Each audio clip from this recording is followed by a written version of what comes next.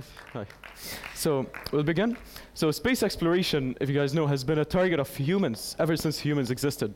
Through thousands of years of civilization and human living, uh, human living, people have targeted space for science, for exploration, because in fact, space is unlimited. Space is limitless, is infinite. Uh, but it's science fiction. There was one hurdle in the face of humans is that going to space wasn't an option. People couldn't go up to space. There wasn't technology. For thousands of years, before even recorded history, no one went up to space.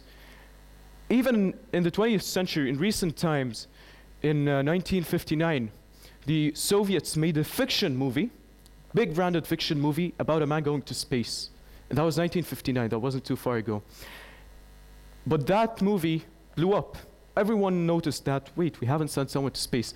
And that ignited a mission. In 1961, which was two years later, Yuri Gagarin came in, went up to space in the Vostok 1, became the first person to break the hurdle of going to space. The hurdle was broken, the curse was broken, people made it up to space. He went into orbit 108 minutes, and that was it. Next up, people didn't stop. Uh, of course, humans are an intelligent species. Of course, everyone has heard of Elon Musk, and everyone has heard of SpaceX, and everyone has heard of the International Space Station. If you check social media today, you're going to find a post that's most likely Elon Musk talking about his plans to go to Mars. See, Elon Musk's SpaceX has created this rocket. Well, it's not really created, it's designed and it's in building. This is the BFR. The BFR is by far the largest, the biggest, and the strongest rocket ever made by humans.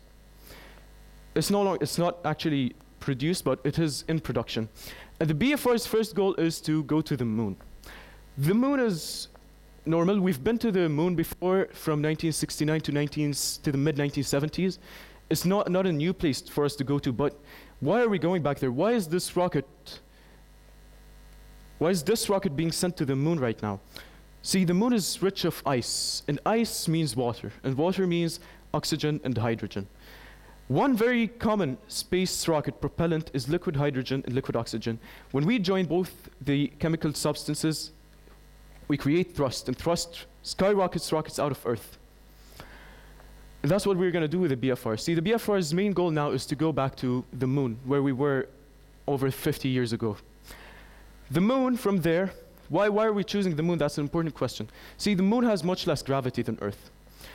Carry a, a rocket out of the moon requires much less thrust, much less power, much less humans, and much less money. Money is an important factor, of course, since now space is a business and everyone wants to make money. Next up, why are we going to, the, uh, to Mars? That's an important question that we have. We're going to Mars because it's the goal of humans. See, we are an, an intelligent species, okay? We can do things that are unbelievable. Throughout the last 100 years, we grew up in technology more than we've ever been. We went to a new, uh, we went to the moon, which is a, a thing that orbits Earth. We made rockets, we made an international space station. The Mars, Mars right now, going to Mars right now is somewhat fiction because we don't have the things to go there.